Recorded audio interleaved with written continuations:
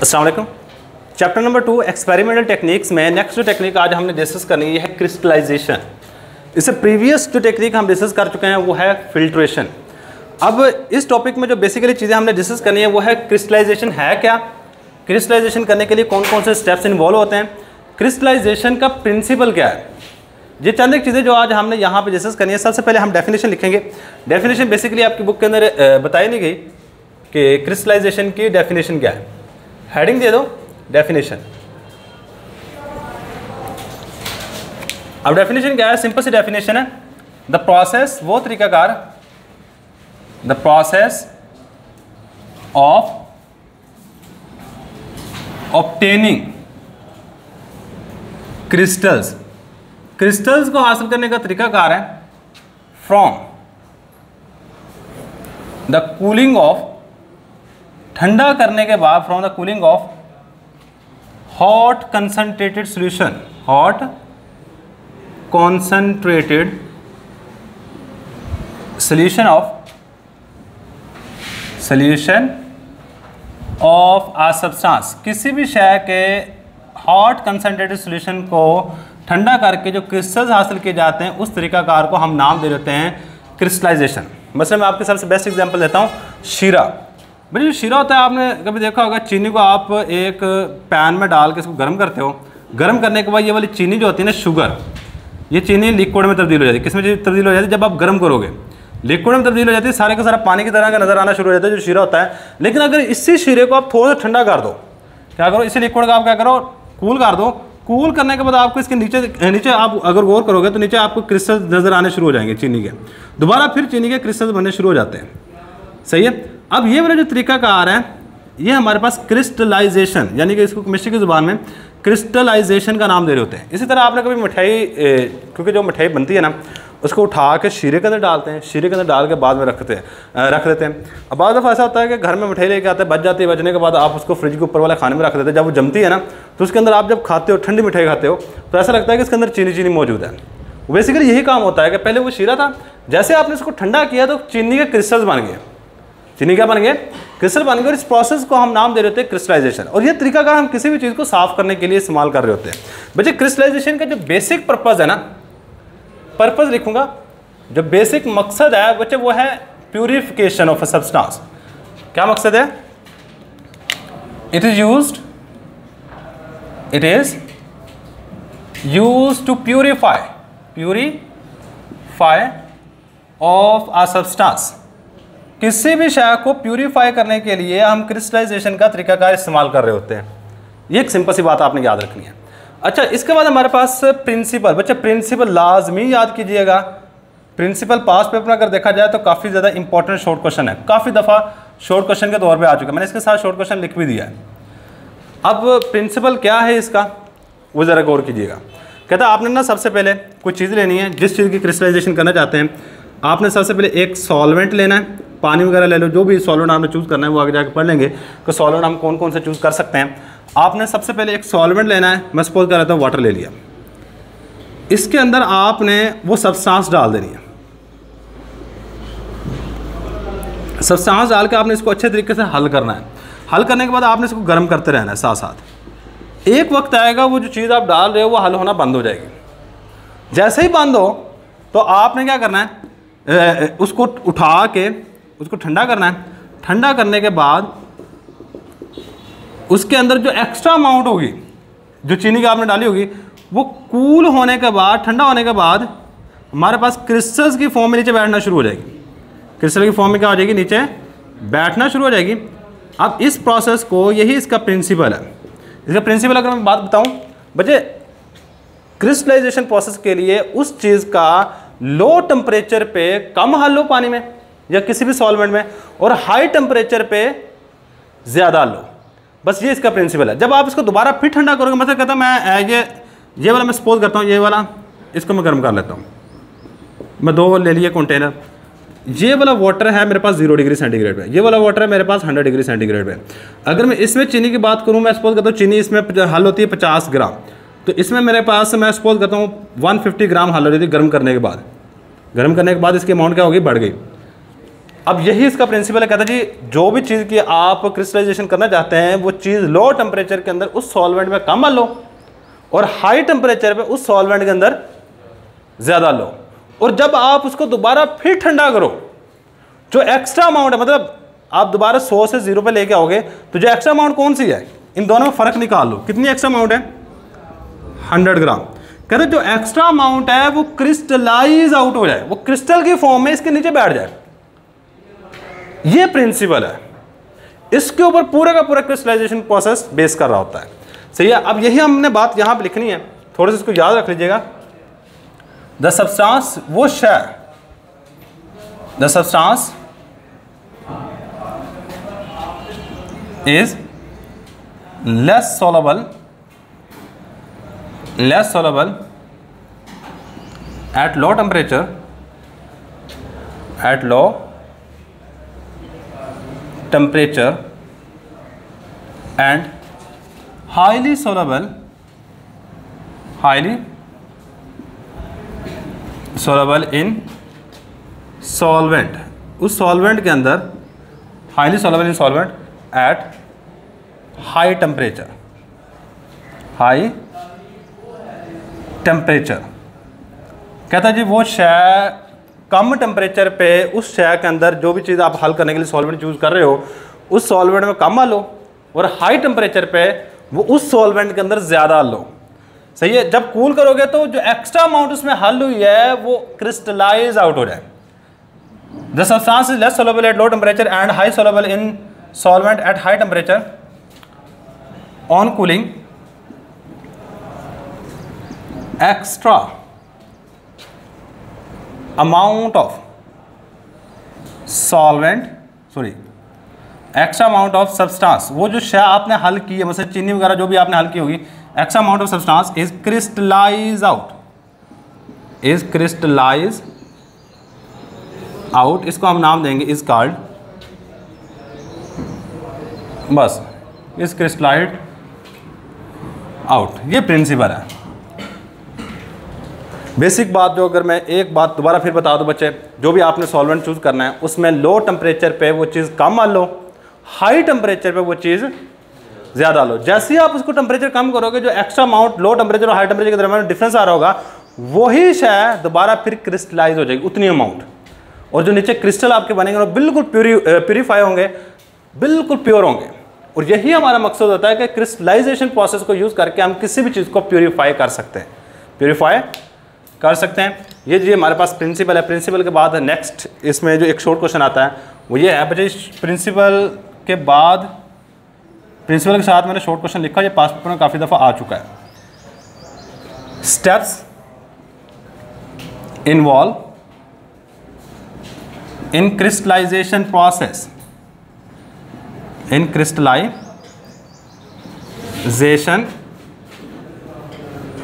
process crystallization process में ये crystallisation के तरीकाकार में कौन कौन से स्टेप्स इन्वॉल्व हो रहे होते हैं? ये चीज़ अभी हमने देखनी है। भैया चंद एक स्टेप्स है जो कि इन्वॉल्व हो रहे थे। ये भी शॉर्ट क्वेश्चन आता है। वो कहता है write on the names of steps ये क्या शॉर्ट क्वेश्चन आता है? राइट डाउन द नेम सिर्फ़ नाम लिखने of steps which involve which involve in crystallization process crystallization process crystallization process में कौन कौन से स्टेप्स इन्वॉल्व हो रहे हैं सिर्फ़ इनके नाम लिखने। ये पास पेपर में शॉर्ट क्वेश्चन काफ़ी दफ़ा आ, आ चुका है। सही है? बेसिकली छः सात स्टेप्स हैं उनका नाम याद रख लीजिएगा। सबसे पहला जो स्टेप है इनकी एक्सप्लेनेशन भी आगे जाके करेंगे। पहले नंबर पर जो स्टेप होता है बच्चा वो है चॉइस ऑफ़ सॉल्वेंट। पहला क्या है जी? हमारे पास चॉइस ऑफ़ सॉल्वेंट सॉल्वेंट को आपने किस तरह चूज़ करना है? सेकंड नंबर पे प्रीपरेशन तैयारी है preparation of saturated solution saturated solution की तैयारी है। सैचुरेटेड सोल्यूशन थर्ड स्टेप है फिल्ट्रेशन फिल्ट्रेशन फोर्थ स्टेप है कूलिंग कूलिंग के बाद फिफ्थ स्टेप है obtaining of crystals obtaining of crystal crystals को हासिल किस तरह करना है? सेवन नंबर पे drying of crystal drying of crystals क्या आपने जो क्रिस्टल हासिल किए हैं, उनको खुश्क कैसे करना है? और लास्ट वाला स्टेप है decolourization decolourization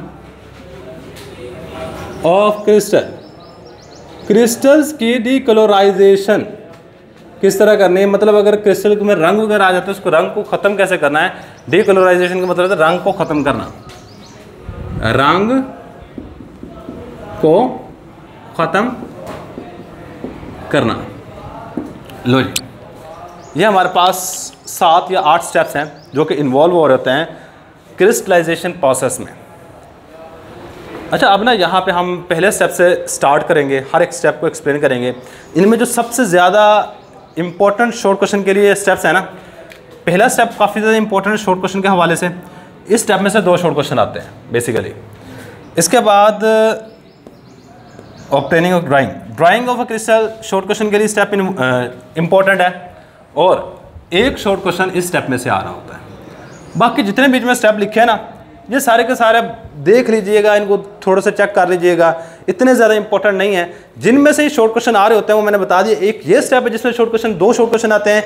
एक शॉर्ट क्वेश्चन दो शॉर्ट क्वेश्चन इस स्टेप में से आ रहे होते हैं और एक शॉर्ट क्वेश्चन इस स्टेप में से आ रहा है। इस साल जो पेपर हुए हैं बच्चे, इस स्टेप में से शॉर्ट क्वेश्चन उठाया। ड्राइंग ऑफ़ अ क्रिस्टल एक एम भी स्टेप में से उठाया। सही है? किस तरह आता है शॉर्ट क्वेश्चन किस तरह एमसीक्यू आता है, ये सारी सारी चीज़ें हम देख लेंगे। सबसे पहला स्टेप हमारे पास क्या है? Choice of solvent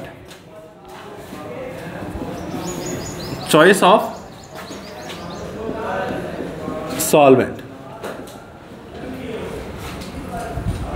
मेरी सबसे पहली बात चॉइस ऑफ़ सॉल्वेंट में ना एक मेथड है, जिसके ज़रिए से हम सॉल्वेंट को चूज़ करते हैं। मसलन, मैं कहता हूँ आपको चीनी दे दी गई है शुगर कहते इसकी क्रिस्टलाइजेशन किस तरह करेंगे? आप क्रिस्टलाइजेशन करके बताओ। मुझे सबसे मुश्किल स्टेप होता है ना, मैं कहता हूँ, ये वाला। है ये वाला स्टेप सही तरीके से कर लिया। आगे वाले स्टेप कुछ ज़्यादा मुश्किल नहीं है। आगे स्टेप बड़े आसानी से हो जाते हैं। अब क्या जी शुगर के लिए आपने सॉल्वेंट कौन सा चूज़ करना है? अब सॉल्वेंट के अंदर ये खास से, ये एक खास बात, जो सबसे मोस्ट इंपॉर्टेंट बात है ना, वो ये वाली होनी चाहिए। क्या? कि लो टेम्परेचर पे वो चीनी को कम हल करे अपने अंदर। और हाई टेम्परेचर पे वो चीनी को अपने अंदर ज़्यादा हल करे। मैं कहता हूँ, अगर ये वाली उसके अंदर खासियत मौजूद है तो वो स्टेप आपके लिए बिल्कुल परफेक्ट है। वो सॉल्वेंट आपके लिए बिल्कुल परफेक्ट है। अच्छा फिर हमें ये वाली चीज़ किस तरह पता चलती है? इसका मेथड क्या है? तो आपके बुक वाला कहता है इसके लिए हम hit and trial method use करते हैं। अब ये हिट एंड ट्रायल मेथड क्या है? The solvent is chosen by chosen by hit and trial method hit and trial method अब हिट एंड ट्रायल मेथड क्या होता है? बेटे हिट एंड ट्रायल मेथड को आम जमाने कहूँ ना तुक्का लगा के। तुक्का लगा कर मतलब आपने तुक्का लगा के कोई भी सॉल्वेंट चूज़ करना है, आपने वो चीज़, अगर शुगर की क्रिस्टलाइजेशन करना चाहते हैं, आप उस सॉल्वेंट को लोगे पहले उसको हल करोगे लो टेम्परेचर पे, फिर हल करोगे हाई टेम्परेचर पे। अगर तो ये वाली पहले वाली प्रॉपर्टी इसमें है तो आप सॉल्वेंट को चूज़ कर सकते हो। सही है? अगर ये वाली चीज़ नहीं है उसमें तो आप सॉल्वेंट को हरगिज़ चूज़ नहीं करोगे, क्योंकि अगर ये नहीं है, बाकी वाली सारी प्रॉपर्टी उसके अंदर मौजूद है तो आप सॉल्वेंट को अभी चूज़ कर ही नहीं सकते, उसमें क्रिस्टलाइजेशन हो ही नहीं सकती। क्यों? क्योंकि अगर लो टेम्परेचर भी उतना हल किया हाई टेम्परेचर भी उतना हल किया तो दोबारा क्रिस्टल तो बनेगी नहीं उसमें। सही है? तो हमारे पास choice of solvent is most most important सबसे ज़्यादा टाइम इसके ऊपर लगता है। हम मुफ्ती सॉल्वेंट लेते हैं, उनको मिलाते हैं, मिला के चेक करते हैं, क्या ये वाली प्रॉपर्टी उसके अंदर एग्जिस्ट करती है? अगर करती है तो उसको चूज़ कर लेते हैं, अगर नहीं करते तो हम उसको रिजेक्ट कर देते हैं। सही है? अब ना जो पास्ट पेपर में जो इस चैप्टर का सबसे मोस्ट इंपॉर्टेंट शॉर्ट क्वेश्चन में से जो शॉर्ट क्वेश्चन मौजूद है, वो यही है। कि write on the characteristics for the choice of a solvent अगर हम कोई सॉल्वेंट को चूज़ करते हैं क्रिस्टलाइजेशन प्रोसेस में, उसकी क्या क्या खसूसियात होनी चाहिए, इनको एक्सप्लेन कर। Write down some characteristics characteristics of solvent in crystallization crystallization में जो हम सॉल्वेंट चूज़ करते हैं, उसके क्या क्या करेक्टरिस्टिक्स होने चाहिए, वो बता दो। सही बच्चे, वो कौन कौन से करेक्टरिस्टिक्स होने चाहिए पहले नंबर पे? जो सबसे मोस्ट इंपॉर्टेंट है बच्चे, वो यही वाला है। सबसे मोस्ट इंपॉर्टेंट क्या? The solvent should dissolve minimum amount of solute at low temperature and maximum amount of solute at high temperature the solvent should solvent को चाहिए। Should dissolve minimum amount of minimum amount of solute at low temperature low temperature and maximum amount of solute and maximum amount of solute at high temperature. High temperature पर ज़्यादा से ज़्यादा solvent की मकदार हल करें। अच्छा सेकंड नंबर पे जो स्टेप हमारे पास आता है। बच्चे जी याद रखिएगा, ये आपका ऑलमोस्ट प्रिंसिपल ही है। देखो, हमने प्रिंसिपल में तो यही बात की है। ये चेक कर लो।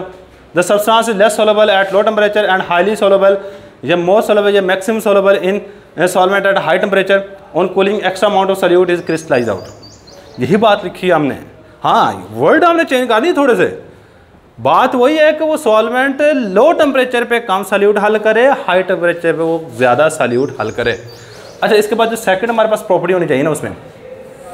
वो ये है कि वो आपका सॉल्वेंट इजीली अवेलेबल होना चाहिए। The solvent is easily available easily available का मतलब क्या है? आसानी से मिल भी जाना चाहिए। सही थर्ड नंबर पे the solvent is safe to use safe to use. मतलब वो इस्तेमाल करने में सेफ़ होना चाहिए। सही है, एक अमोनिया है सॉल्वेंट, अमोनिया। याद रखिएगा, अमोनिया वो केमिकल है जिसमें आप अगर उसकी बोतल को खोल कर रख दें, अब वहाँ पे कोई, मैं कहता एक मिनट तक नहीं खड़े हो सकते। आप इस तरह का सॉल्वेंट चूज़ नहीं करोगे जो आपके लिए नुकसानदेह हो। सही है, अमोनिया इस तरह का सॉल्वेंट जो कि आपके लिए नुकसानदेह हो सकता है। सही, इसके बाद फोर्थ नंबर पे it is not injurious to health injurious to health ये आपके लिए, सेहत के लिए भी ख़तरनाक नहीं होना चाहिए। सही है? इसके बाद it should be less expensive it should be cheap भी कह सकते हो। इट शुड बी चीप चलो मैं चीप कह देता हूँ। चीप का मतलब क्या है? इसको सस्ता होना चाहिए। अच्छा एक और बात जो सबसे मोस्ट इंपॉर्टेंट है। देखो, हमने ये वाला प्रोसेस किसके लिए यूज़ कर रहे हैं? इसका पर्पज़ क्या है? इसको हम यूज़ कर रहे हैं प्योरीफाई करने के लिए, किसी भी चीज़ को। मसलन, मैं चाहता हूँ जी, मैं शुगर को बिल्कुल प्योरीफाई कर रहा हूँ। अब शुगर के अंदर मौजूद है सैंड या कोई और इम्प्योरिटी मौजूद है, मैं आप शुगर को सैंड से अलग करना चाहता हूँ तो इसके लिए मुझे क्या करना पड़ेगा कि आपका जो भी सॉल्वेंट चूज़ करो, उसके अंदर ये मट्टी हाल ना हो। मट्टी? हाल ना हो। सिर्फ़ चीनी हो ये सबसे मोस्ट इंपॉर्टेंट है कि the solvent should not dissolve impurities जो इम्प्योरिटीज़ हैं, इनको अपने अंदर डिजोल्व ना करे। सही है? द सॉल्वेंट सिक्स नंबर पे जो करेक्टर सिक्स है। The solvent should not dissolve impurities. इनको इम्प्योरिटीज का हल नहीं करना चाहिए और या फिर एक और भी बात कह सकते हैं। इफ़ अगर impurities are dissolve impurities are dissolve अगर इम्प्योरिटीज हल हो जाती हैं तो then it should not crystallize out it should not crystallize out अब इसका मतलब क्या इस मतलब समझिएगा पहले थोड़ी देर के लिए ना लिखना बंद करो। इस चीज़ का मतलब समझिएगा। कि मतलब मैं ये बात मैंने क्या गई है जी? इम्प्योरिटी पहले नंबर पे तो हल ही ना हो। अगर हल हो भी जाए तो दोबारा क्रिस्टलाइज आउट ना हो। बच्चे देखो, अगर मैं कहता हूँ सपोज़ क्या है? सपोज़ कर रहा हूँ। कहता जी, अगर हमारे पास पहले नंबर पर मुख्तलिफ़ चीज़ें हैं, अगर शुगर के साथ कोई और इम्प्योरिटी है शुगर है प्लस मैं इसको इम्प्योरिटी को ए लिख देता हूँ। इम्प्योरिटी मेरे पास इम्प्योरिटी है। कहता, पहले नंबर पर तो इसको हल ना हो। इस चीज़ के अंदर। बच्चे, अगर हल नहीं होगी तो आपके क्रिस्टल बनेंगे। सही तो पहले नंबर आपने क्या करना जी इसको पानी के अंदर हल करना है, हल करने के बाद आप इसको जब फ़िल्टर करते हो ना तो ये वाली चीज़ इम्प्योरिटी आप फ़िल्टर पेपर के ऊपर आ जाती है और आपके पास शुगर वाला जो सोल्यूशन होता है, वो नीचे गुजर जाता है। सही है? तो आपकी इम्प्योरिटी से क्या चीज़ अलग हो जाएगी? देखो, आपने फिल्ट्रेशन वाला प्रोसेस पढ़ा फिल्ट्रेशन में हम क्या करते थे? कि इस तरह के फनल लेते थे? इसमें फ़िल्टर पेपर लगा के इस तरह फिल्ट्रेशन करते थे। सही है? ये चीज़ आपको अच्छे तरीके से याद होगी। सही है? अगर ये वाली चीज़ इसमें हल नहीं होती, रेत वैसे की वैसी पड़ी रहेगी। जब आप हाई टेम्परेचर पे लेके जाओगे हाई टेम्परेचर पे, इसको लेके जाते हो तो हाई टेम्परेचर पे चीनी सारी की सारी हल हो जाएगी। हाई टेम्परेचर पे। और ये वाली चीज़ उस पानी के अंदर या सॉल्वेंट के अंदर हल नहीं होगी। जब नहीं होगी तो ये फ़िल्टर पेपर के ऊपर आ जाएगी और चीनी सारी की सारी इसमें से गुजर के नीचे आ जाएगी। अलग होगी? अलग होगी है चलो। अब दूसरे नंबर पे कहता है, अगर सपोज़ के वो हल हो जाए तो वो क्रिस्टलाइज आउट ना हो। चलो मैं अब मान लेता हूँ जी, ये अब हल हो गई है। देखो, आप जब फ़िल्टर करोगे, चीनी के साथ ही दोबारा आ जाएगी नीचे। मतलब ये जो इम्प्योरिटी है यहाँ पे, अब इसमें देखो शुगर के साथ अभी इम्प्योरिटी मौजूद है। इम्प्योरिटी क्या है? मौजूद है। अब आप जब इसको ठंडा करोगे तो चीनी के क्या बनेंगे? क्रिस्टल बनेंगे। कहते जब चीनी के क्रिस्टल बने तो इसके क्रिस्टल ना बने। आप चीनी क्रिस्टल को लैदा कर लोगे, वो तो बीच में बिल्कुल डिजोल्व फॉर्म में होगा। सही है? ये बात लिखी है, पहले नंबर पे हल ना हो, अगर हल नहीं होगी तो काम बड़ा आसान है। अगर हल हो भी जाए तो उसके क्रिस्टल ना बने, वो क्रिस्टलाइज आउट ना हो। सही है? तो ये बातें कितने मैंने छः लिख दी बच्चा, कम से कम कुछ चार बातें इनमें से याद रख लीजिएगा। सही है? पहले वाली चीज़ याद रखिए। बच्चा, आप प्रिंसिपल अगर ये बात भी लिख देते तो भी सही है। प्रिंसिपल याद रखिएगा अगर कम टेम्परेचर पे वो चीज़ उस सॉल्वेंट के अंदर कम हो और हाई टेम्परेचर पे ज़्यादा लो बस यही प्रिंसिपल है। अच्छा अब ना एक और शॉर्ट क्वेश्चन आता है। मैंने कहा जी, इसमें से दो शॉर्ट क्वेश्चन आते हैं। वो कहते चंद, एक सॉल्वेंट के नाम लिख दो जो कि हम क्रिस्टलाइजेशन प्रोसेस में यूज़ करते हैं। Write down the names of solvent write down the names of solvent which are used which are used in crystallization process. Crystallization process crystallization process में कौन कौन से सॉल्वेंट इस्तेमाल किए जाते हैं? उनके नाम लिख दो। बच्चे चंद के नाम मैं लिख लगा सबसे पहले टॉप के ऊपर मैं जो लिखूँगा। चलो मैं पहले थोड़ी सी statement following solvents are used are used in crystallization process in crystallization process crystallization process में ये चंद एक सॉल्वेंट का इस्तेमाल किया जाता है।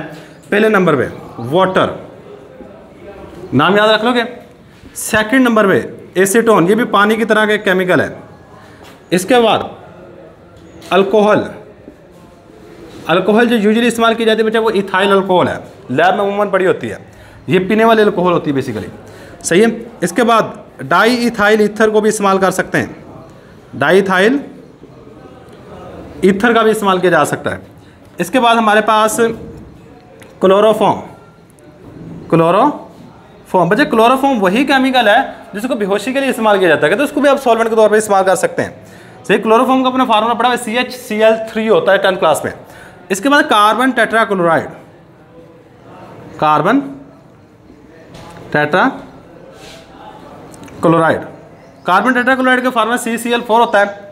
सही है कार्बन टेट्राक्लोराइड के बाद अगर कोई और सॉल्वेंट अगर देखा जाए कार्बन टेट्राक्लोराइड क्लोर पेट्रोल को भी इस्तेमाल कर सकते हो। पेट्रोल या फिर और गैसोलीन सही है। भैया, हमारे पास चंद एक नाम याद रखिएगा, सात नाम लिखनी है, आपको कम से कम पाँच छः नाम आने चाहिए। सही है। ये देख लो कितना आसान से शॉर्ट क्वेश्चन है। नाम याद रखने हैं water acetone alcohol diethyl ether chloroform carbon tetrachloride petroleum या पेट्रोल या गैसोलीन भाई इसमें जो सबसे ज़्यादा हम इस्तेमाल कर रहे हैं वो वाटर को ही कर रहे हैं। तो क्योंकि वाटर सस्ता है सबसे चीप भी है, आसानी से मिल भी जाता है हेल्थ के लिए इंजूरियस भी नहीं है। सारी की सारी मैक्सिमम क्वालिटी लेकिन अगर ये वाली क्वालिटी नहीं होगी तो हम वाटर को भी रिजेक्ट कर देंगे। क्योंकि ये वाली सबसे मोस्ट इंपॉर्टेंट बच्चे, इसमें सबसे करेक्टरिस्टिक देखा जाए ना, वो ये वाला है, पहले वाला। कि उस सॉल्वेंट को कम टेम्परेचर पे सल्यूट कम हल करें और हाई टेम्परेचर पे ज़्यादा हल करें। तो बच्चे, इसमें हमने आज बात कर ली है चॉइस ऑफ़ सॉल्वेंट की। इन नेक्स्ट लेक्चर में हम प्रीपरेशन ऑफ़ सेचुरेट सोल्यूशन भी कर लेंगे फिल्ट्रेशन भी कर लेंगे कूलिंग भी कर लेंगे ऑप्टेनिंग ऑफ़ अ क्रिस्टल भी कर लेंगे। से उम्मीद है कि यहाँ तक कर लेंगे। एक लेक्चर और लगेगा या आधा का लेक्चर और लगेगा, डेढ़ लेक्चर में ये आपका सारे के सारे क्रिस्टलाइजेशन प्रोसेस खत्म हो जाएगा। क्रिस्टलाइजेशन प्रोसेस के बाद बाकी जो चीज़ें बचती हैं बच्चे, वो बड़ी आसान है। याद रखिएगा क्रिस्टलाइजेशन प्रोसेस के बाद जो बाकी चीज़ें बचती हैं, वो काफ़ी काफ़ी हद तक आसान है। सही है, आगे एक प्रोसेस रह जाना हमारे पास सब्लिमेशन का रह जाना है सॉल्वेंट एक्सेक्शन है और क्रोमेटोग्राफी है। ये चैप्टर मुकम्मल हो जाना है। मैक्सिमम इस चैप्टर को ज़्यादा ज़्यादा दिन लगे ना तो पाँच दिन या छः दिनों में ये चैप्टर आपका मुकम्मल हो जाएगा। तो यही हमारे पास आज का लेक्चर अल्लाह हाफिज़।